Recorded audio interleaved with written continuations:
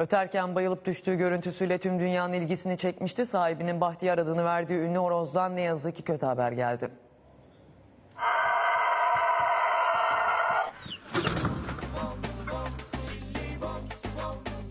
Öterken düşüp bayıldığı bu videoyla dünyaya nam salmıştı. Bahtiyar'dan üzücü haber geldi. Bulaşıcı hastalıkla Bahtiyar'ı kaybettik. Horozum çok ünlüydü. Tüm dünyada haberlere çıktı. Nazar mı değdi, göz mü değdi bilemedik. Denizli'de yaşayan Okan Gökbuğ'dan küçüklüğünden beri besleyip büyüttüğü horozuydu o. Adını Bahtiyar koymuştu. Öterken bayıldığını fark ettim. Bir anda viral oldu.